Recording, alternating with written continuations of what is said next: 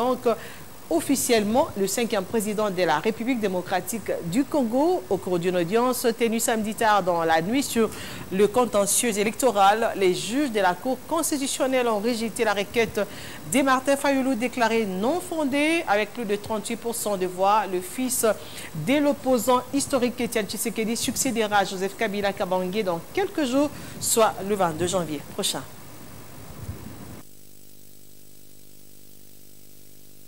Des résultats provisoires, enregistré le recours de regroupement politique renommé la dynamique de l'opposition euh, congolaise, représenté par euh, M. Fayoulou Madidi Martin, enrôlé sous le RCE 01 bar PR et celui de M. Ngoyi Rungawansenga Théodore, enrôlé sous le RCE 002 bar PR examen des moyens formulés par les requérants et là, par arrêt RC 001 PR et RC 002 PR de ce samedi 19 janvier 2019, déclaré non fondé les dix moyens et par conséquent rejeté ce recours. C'est pourquoi la Cour constitutionnelle, siégeant conformément aux dispositions des articles 161 alinéa 2 de la Constitution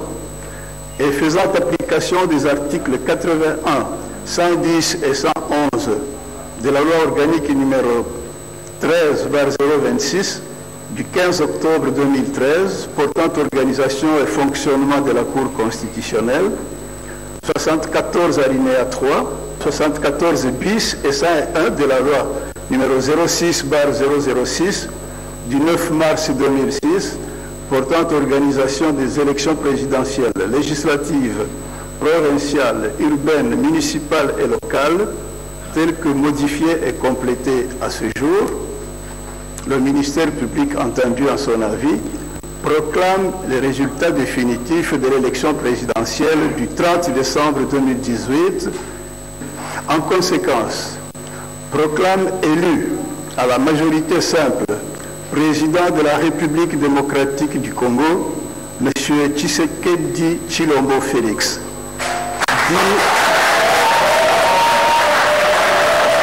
Que le nouveau président place son mandat dans la logique de la paix et de la réconciliation et promet de ne pas faire la chasse aux sorcières. D'après Jean-Marc Kabourn qui dédie l'élection de Félix Tshisekedi au père fondateur de l'UDPS et au peuple congolais, le cinquième président de la République combattra sous toutes ses formes la corruption, la intribale et tant d'autres antivaleurs qui ont fait tomber notre pays au bas de l'échelle.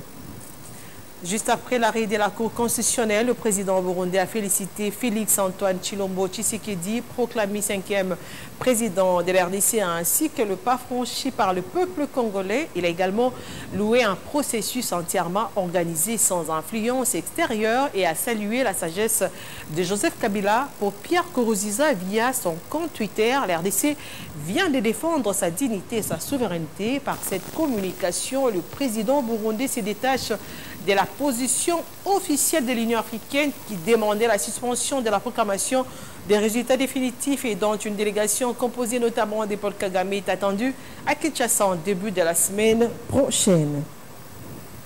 Et en rapport avec le communiqué de l'Union africaine, le secrétaire général des Nations Unies, Antonio Guterres, a précisé qu'il ne s'agissait pas d'un sommet de l'Union africaine, mais plutôt d'une rencontre des pays invités par le président de l'UIA. Antonio Guterres a indiqué que le processus électoral RDC s'achèvera sans violence, avec un plein respect de la volonté et de la décision de sa population. Alors où il s'apprête à faire la passation de pouvoir avec le chef de l'État, Joseph Kabila Kabangé, resté en fonction jusqu'à l'installation effective de son successeur issu des urnes, Félix-Antoine Tshisekedi. Un groupe de pays invités par le président en exercice de l'Union africaine Paul Kagame à Addis Abeba pour parler de la RDC sans aide. Cette réunion a ignoré toutes les institutions de la RDC démocratiquement établies en prenant une posture pro un camp jusqu'à faire fi de l'indépendance de la justice vis-à-vis -vis des autres pouvoirs, gage d'un état de droit dire aux instances judiciaires de la RDC de suspendre les résultats définitifs de la présidentielle du 30 décembre au motif des doutes sérieux sous la conformité des chiffres remettrait en cause le principe d'un État de droit, ce qui montre l'ingérence dans les affaires internes de la RDC. Alors qu'elle-même s'est inscrite dans la stabilité des institutions, elle n'acceptera pas de subir les dictats extérieurs et refuse toute ingérence d'ailleurs. L'intérêt soudain des invités de Paul Kagame à Addis Abeba traduit là l'idée colonialiste cherchant à imposer un dirigeant qui répondra aux besoins des Occidentaux et impérialistes pour continuer à sucer les ressources naturelles du pays au détriment du peuple congolais qui a longtemps souffert. Rien ne dit qu'une dizaine de chefs d'État réunis à Addis Abeba portent à cœur le souci des Congolais que eux-mêmes. Mais il y a là des motivations obscures qui ne visent qu'à avilir la descendance de Lumumba et de Kimpavita. En laissant un pays stable, avec de fortes institutions, Joseph Kabila Kabangé se sera assumé par rapport aux prescrits de l'article 69 de la Constitution rendu en ces termes. Le président de la République est le chef de l'État. Il représente la nation, il est le symbole de l'unité nationale, il veille au respect de la Constitution. Il assure par son arbitrage le fonctionnement régulier des pouvoirs publics et des institutions ainsi que la continuité de l'État.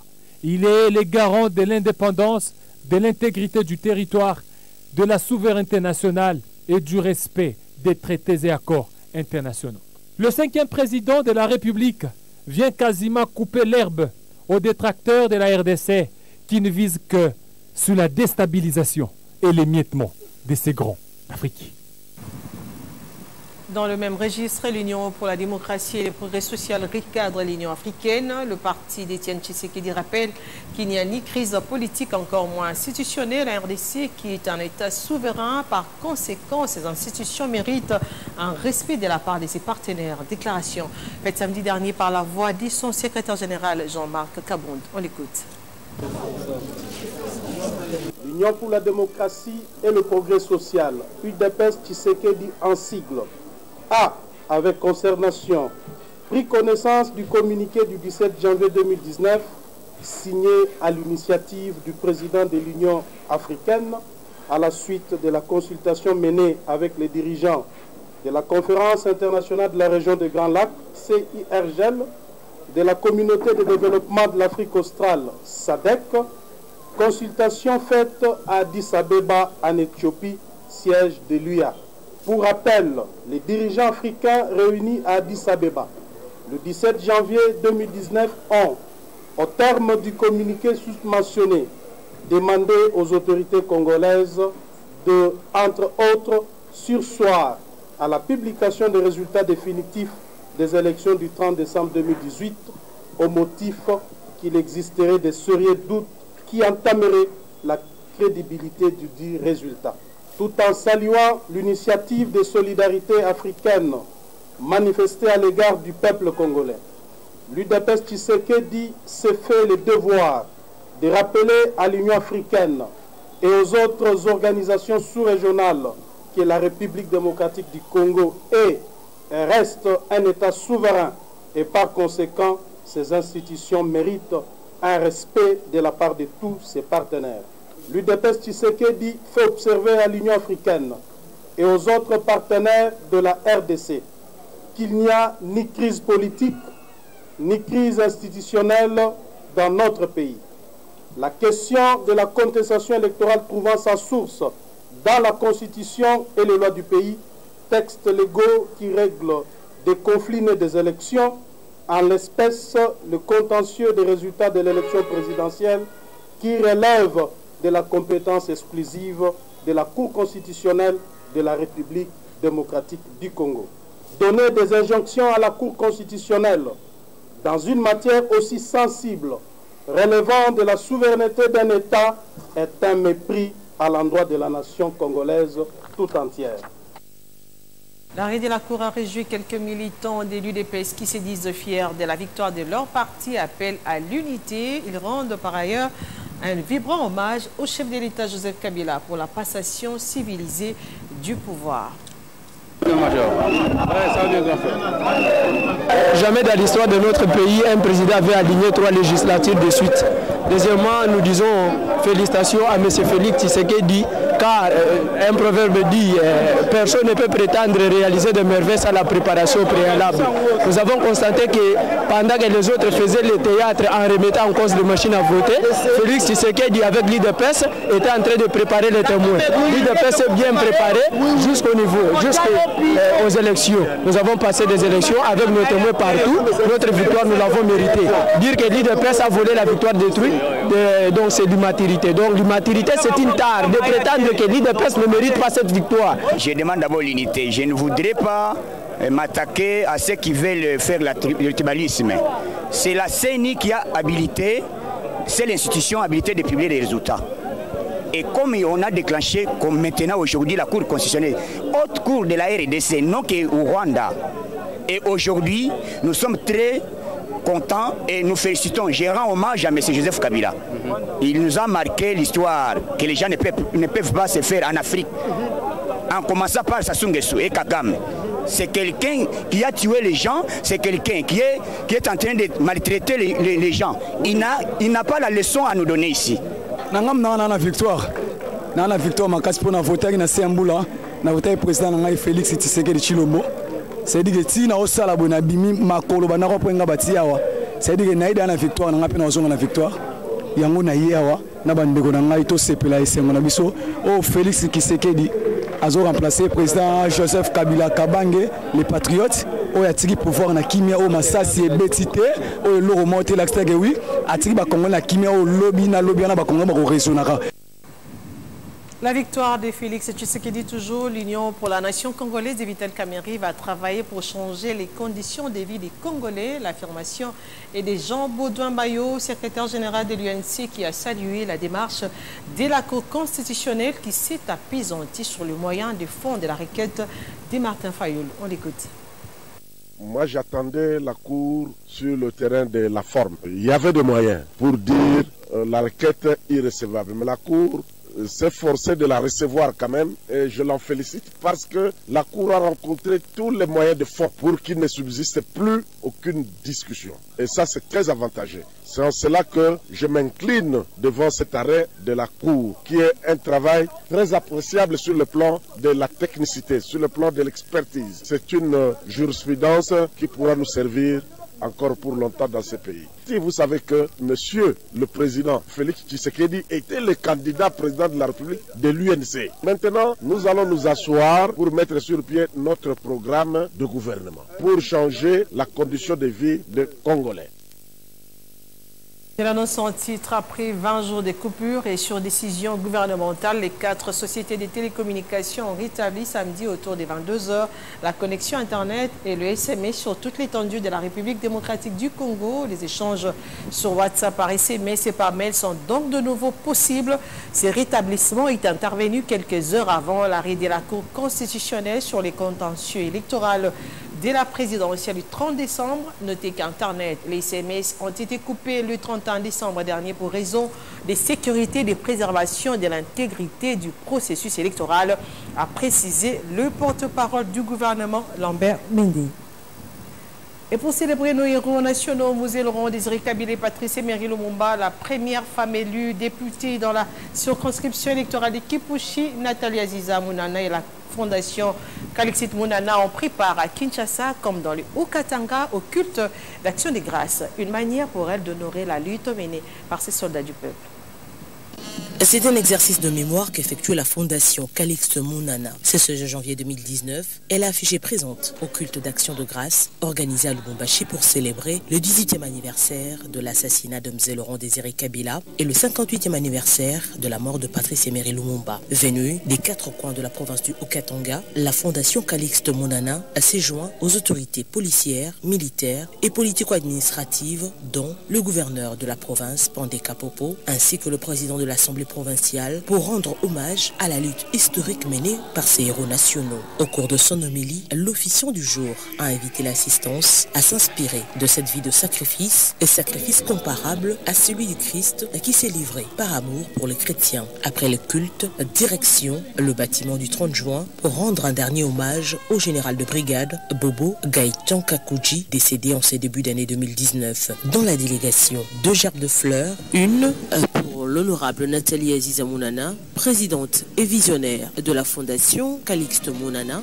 puis une autre au nom de la fondation Calixte Mounana, une façon d'exprimer sa solidarité avec les corps militaires et les autorités politico-administratives. Pendant ce temps, présente à Kinshasa, l'honorable Nathalie Aziza Mounana, première femme élue députée provinciale dans la circonscription des Kipushi, n'a pas dérogé à la règle. Elle a pris part à la cérémonie commémorative de Patrice Emery Lumumba en la Notre-Dame du Congo. Bien avant, elle a pris le soin de saluer Juliana Lumumba ainsi que le membre de la famille de ses héros. Il faut noter que depuis plusieurs années, la Fondation Calixte Mounana a toujours célébré les journées commémoratives de la mort de ces deux héros nationaux et leur lutte a d'ailleurs inspiré plusieurs actions sociales de cette structure. Sport, l'on attendait, ça s'est réalisé ce samedi 19 janvier au stade Martyr de la Pentecôte. L'ASV Club de Kinshasa a enregistré sa première victoire en face du groupe de la Ligue des Champions en prenant le déçu, l'FC Simba de la Tanzanie en match de la deuxième journée. Score de la partie 5 buts à 0. C'est donc la relance pour les Dauphins Noirs de Kinshasa qui occupent la deuxième place du groupe avec 3 points. De la droite vers la gauche. Et joue. Et ce but Quel beau but Quel beau but de Mpunga Quelle tête Quelle tête magistrale de Padou Mpunga qui marque sur un corner converti de fort bonne manière par Claudie Mojiga, l'international. Un bon organisateur. Et là, c'est Mozinga. Mozinga pour le 27. Il s'en va, grands enjambées. Il va jouer peut-être le troisième but. Il a trop poussé les ballons Guillaume. Et c'est un penalty. Penalty avec un carton jaune. A priori, va-t-il jouer Et c'est bien joué. Il a marqué.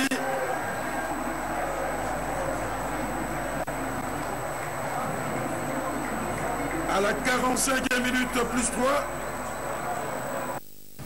Cette page noire avant de terminer la famille Mbouya qui a perdu leur père et grand-père Théophile Mbouya Mouana Mwadi dont la petite fille Laurent Mbouya Moutala est notre consoeur décédée lundi 14 janvier à l'âge de 88 ans de suite d'une courte maladie à Kinshasa. Les membres de la famille, amis et connaissances lui ont rendu un dernier hommage hier samedi avant son inhumation à la nécropole entre terre et ciel.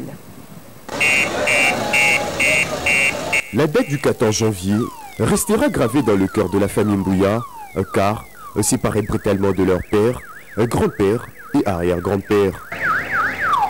Né en 1931 au village de Kumbi, territoire de Kenge dans la province du Kwango, Théophile Mbouya Mouanamwadi sera vite éprouvé, car devenu orphelin de mère à l'âge de 2 ans et de père à l'âge de 15 ans.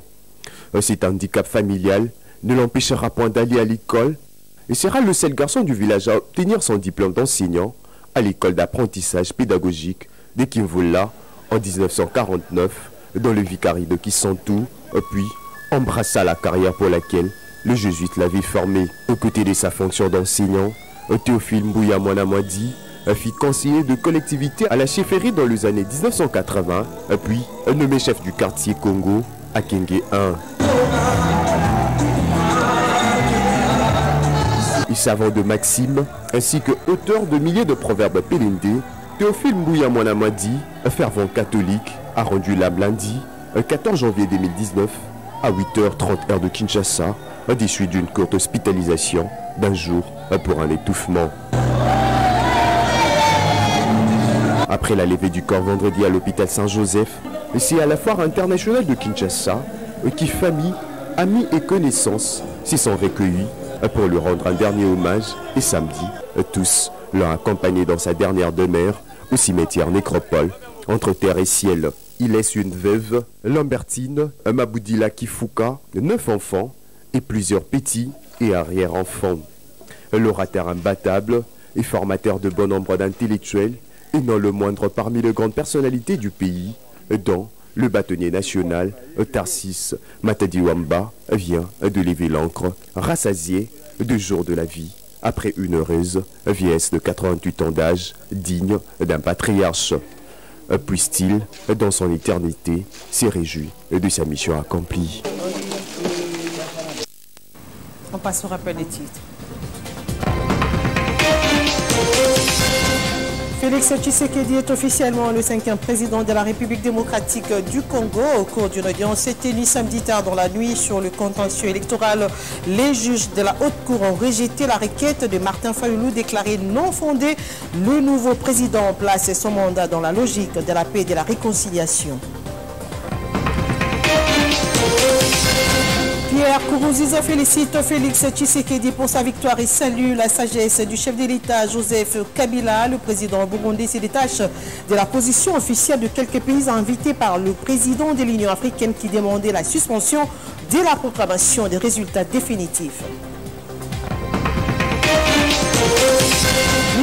Pour la démocratie et le progrès social recadre l'Union africaine. Le parti d'Étienne Tshisekedi rappelle qu'il n'y a ni crise politique, encore moins institutionnelle en RDC, un État souverain. Ces institutions méritent un respect de la part de ses partenaires. L'accès à l'Internet et les SMS rétablis sur toute l'étendue de la République démocratique du Congo sur décision du gouvernement. Les échanges sur WhatsApp par SMS et par mail sont donc de nouveau possibles depuis samedi dernier autour des 22h, heure de Kinshasa. Voilà qui referme ce journal. Merci de l'avoir suivi à tout à Kabeya Kamwanga dans Lucas Oriental et sur toute l'étendue de la République démocratique du Congo. Ne quittez pas, restez avec nous sur Télé